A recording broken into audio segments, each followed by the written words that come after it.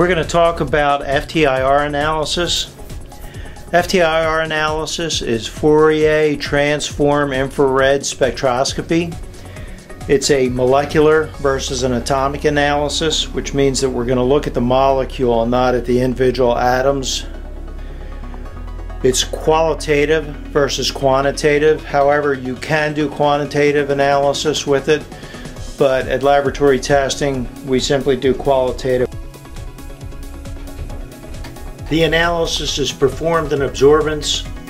It can be converted to transmittance as well.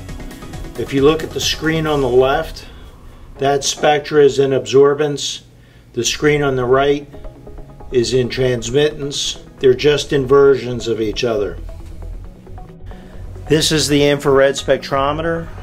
It has a infrared light source that is the baseline of the energy. And what happens is, is a sample is put into that light source and then the absorbance of that sample is what is used to measure the bonds of the carbon atoms. FTIR analysis is handy to use for several different types of samples. We can have powdered samples, we can have solid samples, we can have thin film samples, and we can have liquid samples. There's several different ways to get the sample into the FTIR. One is using a potassium bromide along with a powdered sample. Screw it together and press it into a pellet and then we put that pellet on the rack that will go into the light path and we shine the light directly through there. Another way is with a thin film. If the sample is already thin, or it can be pressed into a thin film. We put it in this cassette and then we put the cassette in the light path and we read the analysis from that. We can also do Nujol, which is liquids. They're placed on uh, sodium chloride plates. Put two of them together with the uh, liquid between it and shine the light path through there. Put it in that holder and we can measure that material in liquid form through the glass plates.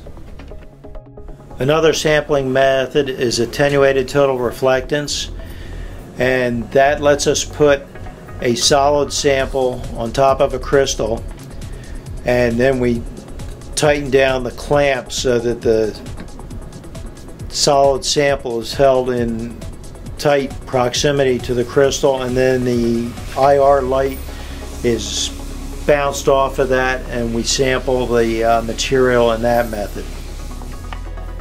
The first thing that we're going to do when we do an analysis is gather a background spectra so that that can be subtracted from the spectra that we get so that all we're seeing is the actual sample that's gathered.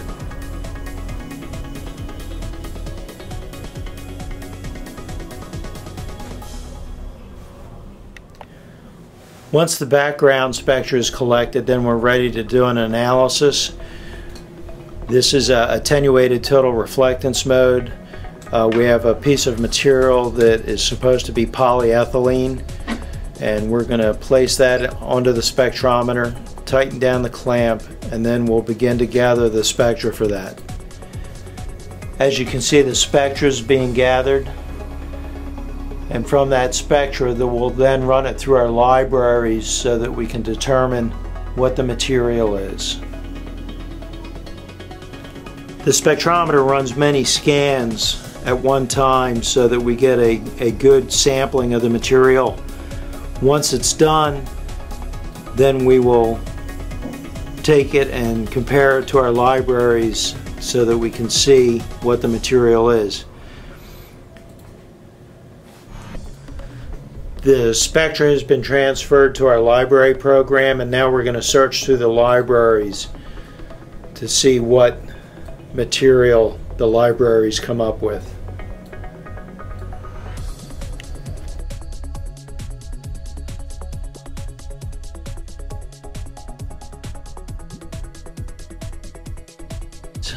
Once we've run it through our library, the library has determined that the material is polyethylene. It comes up with the best match first and then decreasing percentage of matches down below. And the best match was polyethylene high density.